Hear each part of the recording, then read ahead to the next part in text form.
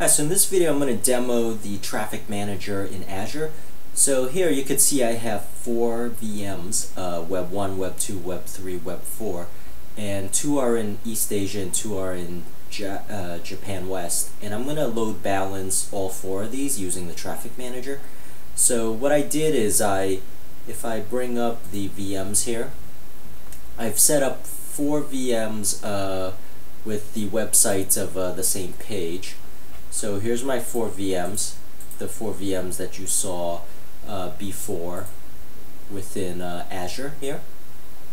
So I've logged into them and I've set up a web page uh, that displays the uh, web, the web server name.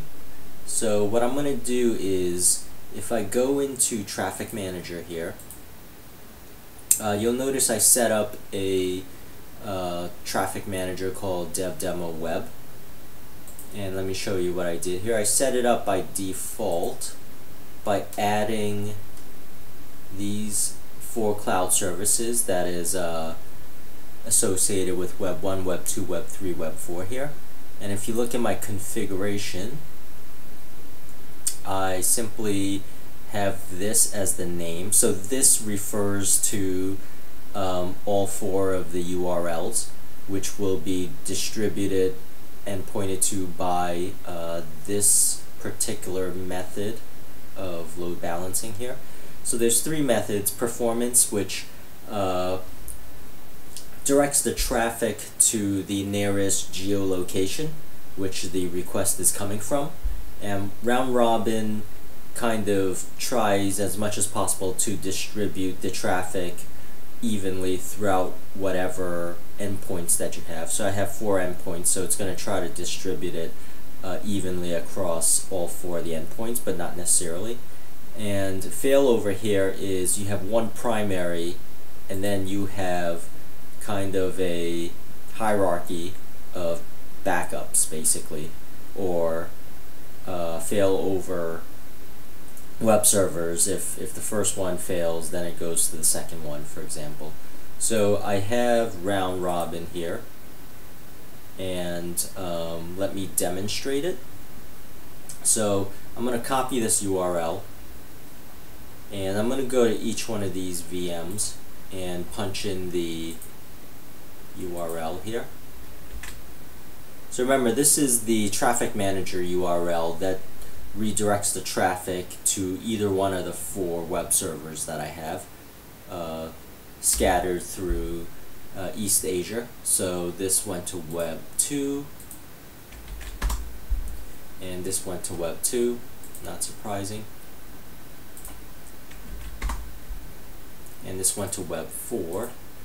This likely will go to Web 4. Oh, this went to Web 2. So you'll see what it's doing here. This went to Web 3. And this went to Web 3 also. And this here is the round robin.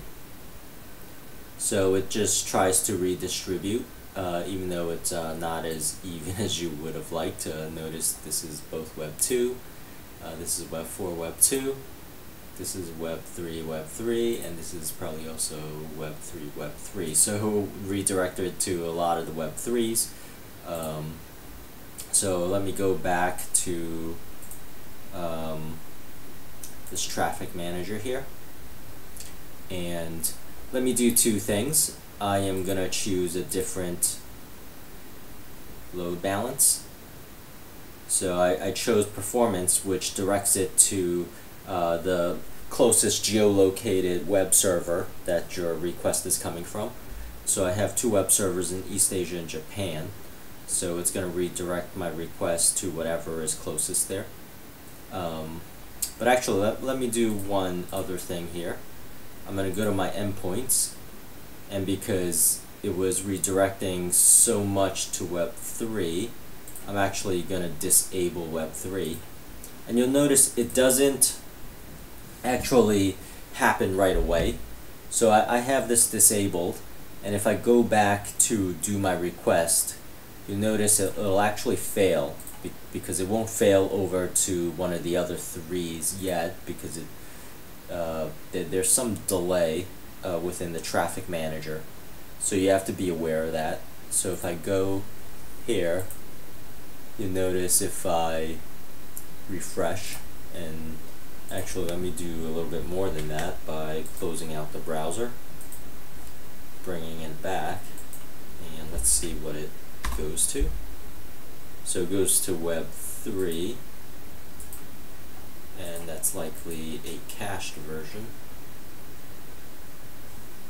Now if I hit refresh,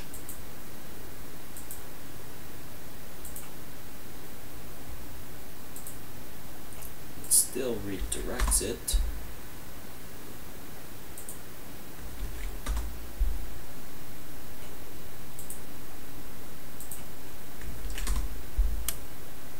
You'll notice this one switched to Web 4 from Web 3. That one went to Web 4. This one did the same thing. And that one switched to Web 2. So let me go through my second demo here where I not only have I disabled this, but let me go to configure and I'll go to performance here and I'll click save and this will take uh, some time here let me just go back make sure it's online. So now it's switched to performance.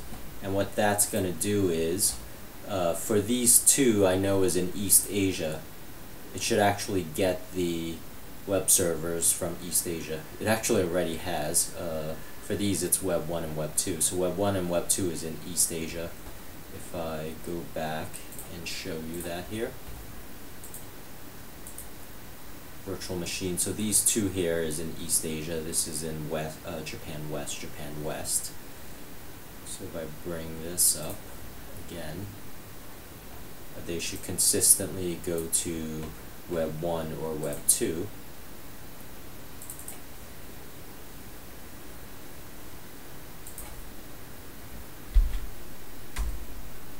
So you notice this goes to web 4. So it's uh, basically